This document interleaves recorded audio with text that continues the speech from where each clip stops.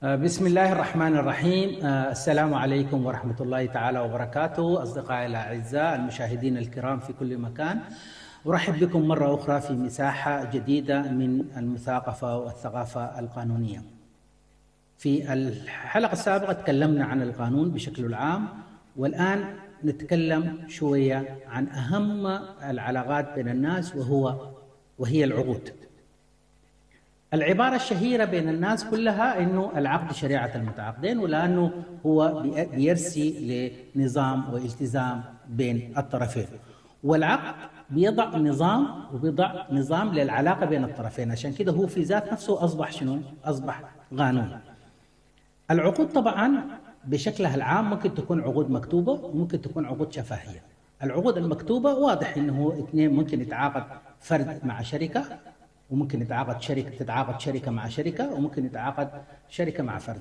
على اختلاف الشخصيات الطبيعية والفردية من أهم أركان العقود أنه يكون فيما يعرف بالإيجاب والقبول أو العرض والإيجاب.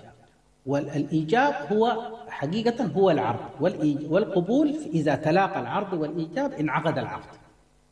فمن المهم جدا أنه نحن نعرف قديما في القوانين كانت تفرق ما بين الاتفاقيات وما بين العقود. لكن الآن أصبح التركيز على محتوى ومضمون الاتفاق بين الطرفين وقد يكون طالما كان هو ملزم أصبح هو عقد من العقود. والعقود ممارساتنا اليومية لا تخلو من إبرام عقد. يعني لو أنا طلعت على المواصلات ركبت الحافلة أنا ببرم عقد.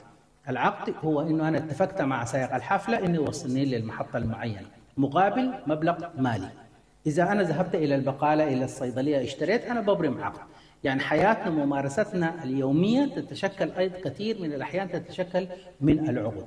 لذلك أصبح من المهم جدا أنه نحن نعرف إنه حقوقنا ونعرف واجباتنا. إذا كان هو عقد أصلا مكتوب فده شيء واضح. الناس بتركز على تفاصيل الشروط المكتوبة. لابد أنها تكون واضحة. أي نوع من الغرر ولا الغموض وأيضا نحدد مكان انعقاد العقد والمحكمة المختصة والقانون الواجب التطبيق. لازم نطلع عليه لذلك. أنا أنبه أنه حتى حين النقر على الطريقة الإلكترونية في المواقف بالموافقة الشروط لازم تطلع على الشروط التامة بشكل تفصيلي لأن النقر عليها يعني الموافقة والموافقة يعني الالتزام فلازم تعرف التزاماتها. آه يمكن نحن آه رجعنا على إنه آه حينما توقع على الأوراق لازم تتأكد إنه هذه الأوراق اللي بصمت عليها أو وقعت عليها لا تح... لا تتضمن أي نوع من أنواع الالتزام في مواجهتك. فالعقود من العمليات المهمة جدا ومراجعتها من الأشياء المهمة جدا ولازم الإنسان يراجع كل ورقة يوقع عليها. ونلتقيكم في مساحة جديدة.